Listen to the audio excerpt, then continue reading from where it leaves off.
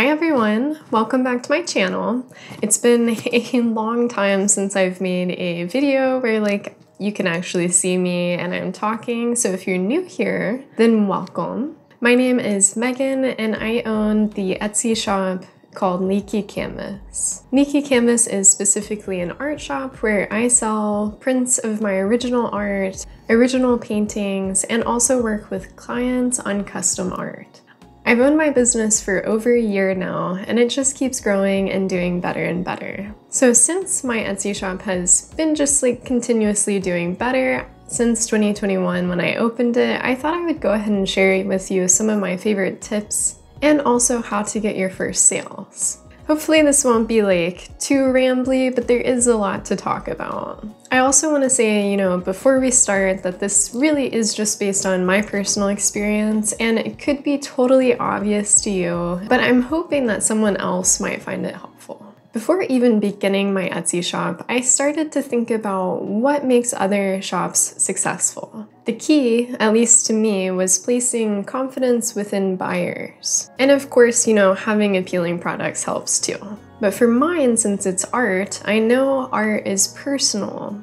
Not everyone's going to like it every time, and I don't expect them to. So instead of, you know, thinking about how personal art is, I turned my attention to the first part of that statement. How to make buyers feel confident in you and your shop. This is my main goal and it will always be my true underlying goal with everything I do for Leaky Canvas. There are a lot of factors that go into, you know, placing confidence within buyers, but I tried to kind of just boil it down into just two. Make sales and get five-star reviews. These stood out to me, you know, amongst everything else that we can do to make people confident in our stores.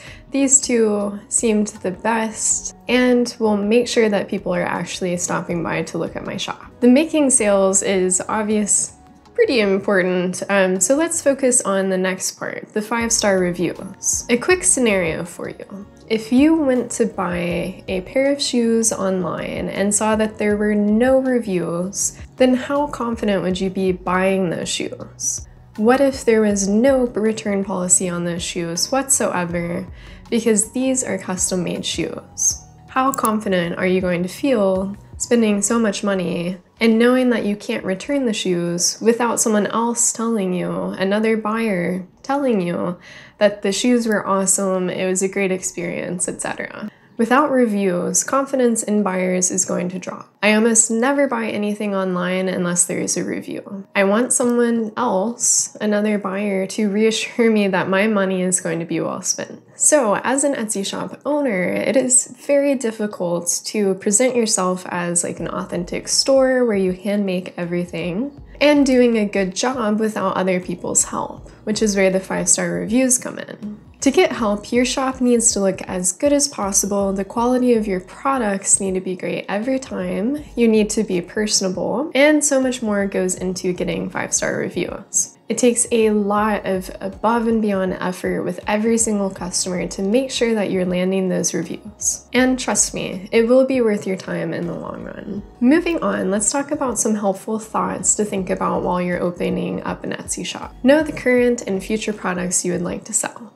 Etsy recommends at least having 10 listings or products for sale when you first open up your shop. The more products you have, the more likely that shoppers are going to bundle those products together and you're gonna make bigger sales. The more listings out there on Etsy, the more likely random shoppers will be able to stop by your store. It's also a great idea to have a plan for the future. Think about ways that you can continue expanding your shop over the lifetime of your shop. And plan on adding new listings at least once each year to make sure that buyers are coming back to your shop, especially previous buyers, so that they can see your new products. For now, just as an example in my own shop, I have custom art, original art, original ornaments, custom ornaments, and also prints of my original art. People also seem to love customization on Etsy, so definitely consider how you can make your products more customizable. Know your buyers and who you would like to buy your products. This is kind of an assumption part, but it's good to have a target audience. Are you trying to appeal to modernists, traditionalists, the hippies, you know, pet lovers, homeowners, etc.? And once you know your clientele, you can start framing everything from your products to like a thank you card to really appeal to those clients. For example, I don't shy away from color in my shop, so I know that my customers are probably playful, fun, you know, they like color, which tends to lean towards the bohemians in society, or just people who like colorful interiors. My art probably doesn't appeal to like modernists or someone looking for simple home decor. My clients definitely, I would assume, love details, you know, they either love pets, nature, hiking, landscapes, all of those things I think about when I'm framing my shop. So everything from, you know, thank you cards to the products I make are centered around color, details, and a little bit of whimsy. Lay out your listings to attract buyers right away by taking good photographs, scanning in your art if you're selling art, and taking time to write good descriptions. A single picture and a title is all that a customer is going to see when they're just scrolling through Etsy's search engine. So your main image needs to be eye-catching, but also accurate to the product you're selling. If you take time to make sure your listings look good, then buyers are going to place trust in you right away because they know that you took time to make sure that your shop looks good. There are a ton of ways you can showcase your products. And if you're feeling a little lost, I recommend scrolling through some of the successful Etsy shops out there. It's always nice to see something that is doing well, and then you can put your own spin on it.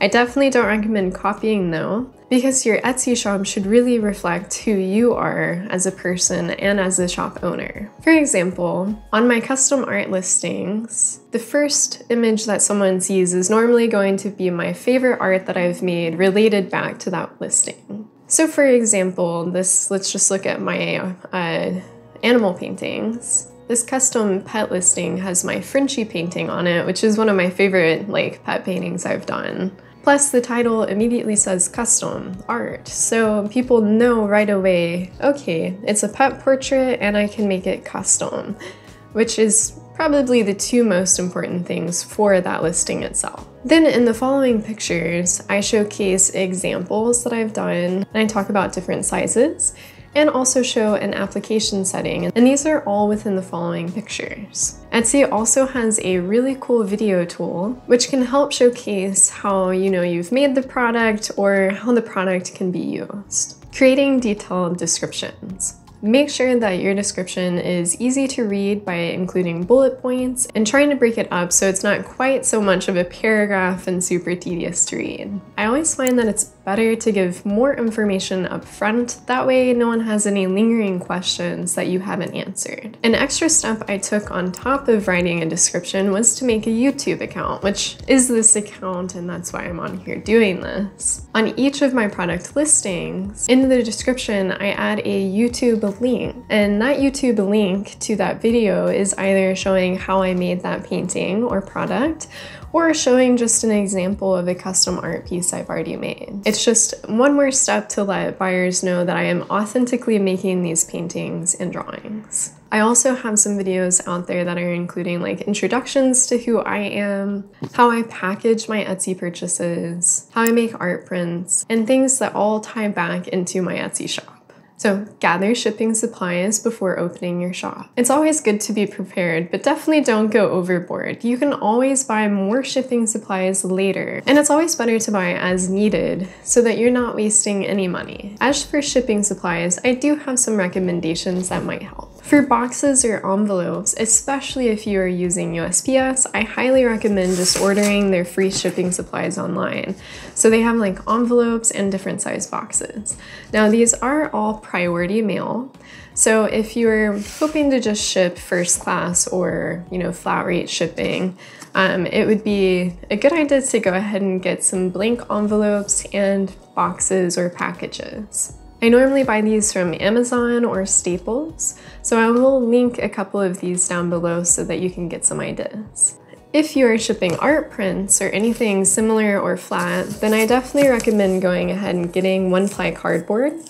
So I use this to help make sure that the print or art does not get like crinkled on accident if the envelope gets bent. It keeps the envelope from bending at all. It's pretty sturdy. Well, it's sturdy this way. Um, And I always use two to really, you know, make it as sturdy as possible. And then also just another like safekeeping thing. So this is just like a little plastic bag I got from clearbags.com. And it really just makes sure that like water or dirt isn't going to get down in the art piece or the print. And like it makes it a lot easier and comfortable for clients to handle it until they get a frame. Let's see, so some other items that I've purchased. Um, I bought this scale and again, I'll just link them all down below for you. Um, but the scale, um, I also bought, you know, a sticker sheet, and these were actually free samples, um, which has worked really well for me. And yeah, so I can just print my logos right on there, and it adds a little bit more customization to the packaging. Um, and then I also have washi tape, uh, which I have in different colors, but I really like washi tape because of the patterns. Again, going back to making a colorful packaging for my clients. And then also lastly, I bought a um, just a stack of shipping labels. So these just go into a regular printer and then you just peel them off and stick them on the package. It's super easy. So the next one up um, is promoting your shop before it opens. And once it does, definitely promote using coupons with your friends and family, especially for the first couple of months. My coupons were something like buy one, get 10% off, buy two, get 15% off, so on and so forth. And I pretty much gave these coupons out to anyone that I knew. I made sales right away just using this method with the coupons from people I know personally and also some followers on social media. So this part is actually kind of my secret tip which I know, you know, isn't all that secret and I'm just pretending to be a little sneaky. But if you can, land your first sales through people you know. There are two reasons why I recommend this. One, you can ask them to write a good review, which goes back to our goals that we talked about at the beginning of the video. And two, you can ask them to be honest with you about their experience and also the products that you're making. This way you know what you can change and what you need to do better next time for your actual customers that you don't know. For example, let's say you shipped a necklace you made to a friend of yours. And they were like, oh hey, I noticed that you didn't put a business card in here. It would be really nice when anyone, you know, compliments the necklace you made to be able to show them a business card. And then now that they that your friend told you about that, you can now include a business card going forward for your other clients. I actually gave my immediate family members a substantial discount to use on my store. I.e., like, you know, just like my mom and my granny, like the ones I'm super close to, obviously. And just getting their sales alone helped a ton to make my store look like it's not brand new.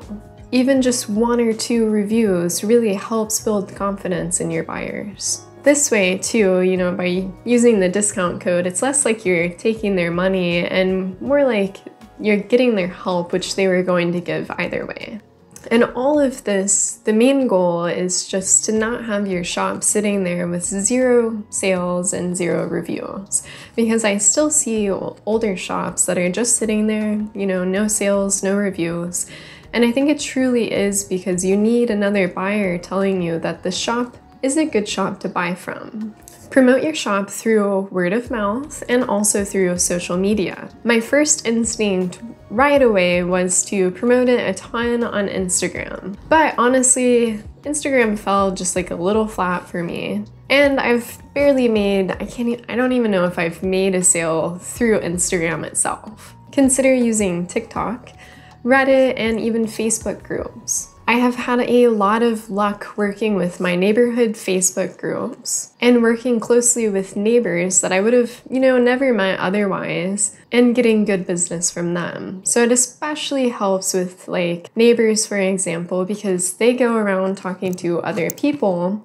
So this is where like the word of mouth comes in. So when they talk to someone about my art, it honestly helps most when someone recommends your Shaw to someone because that buyer, you know, the future buyer that your customer is talking to now knows that you did a great job with their friend or family member or whomever. It's honestly how I've made most of my sales. Also, I did want to note here that I have made sales just through Etsy's website by itself. Etsy definitely promotes your shop well for the first year, but I have noticed a decline after my first year in getting just like Etsy random sales. So I think what they want you to do is pay for promotions after your first year so that you can continue getting those sales from the website. I have only paid for, I think, one promotion uh, this year. And the amount of money I paid, I actually made up really well in just one sale. So that's just something to keep in mind in the future. Be professional and also authentic to who you are.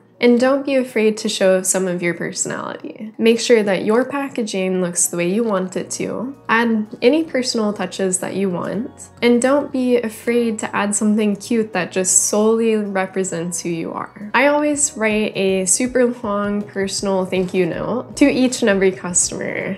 And it, it totally wouldn't surprise me if they like didn't actually read the thank you note. It's it's honestly that long sometimes. But I love telling customers why I made the art that they're purchasing or what I loved about making their custom art. And also just in general about how much their purchase means to me. It just kind of depends on how I'm feeling that day, but I love adding thank you cards because it just shows a little bit more about who I am. Lastly, just try to remain, you know, excited and thankful for every step of the process. Etsy can be a full-time job and it can be very, you know, stressful and tedious at times, but it's also incredibly rewarding knowing that someone out there loved your product or art enough to actually buy it. Any progress at all with owning a small business deserves a reward and to be appreciated. Treat yourself at those smaller milestones. And after all, hopefully you'll be doing what you love and sharing it with the world. Anyways, I am totally ending on that cheesy note. I'm sure I could, you know, work on this video like a million times over and honestly, this is the second time I'm recording it. But for now, this is just my helpful tips after owning an Etsy shop for a year and a half. I hope you found it helpful. And if you have tips of your own, I would love to hear them and I'm sure others would as well. All right, so thank you so much for watching and I will see you next time. Bye guys.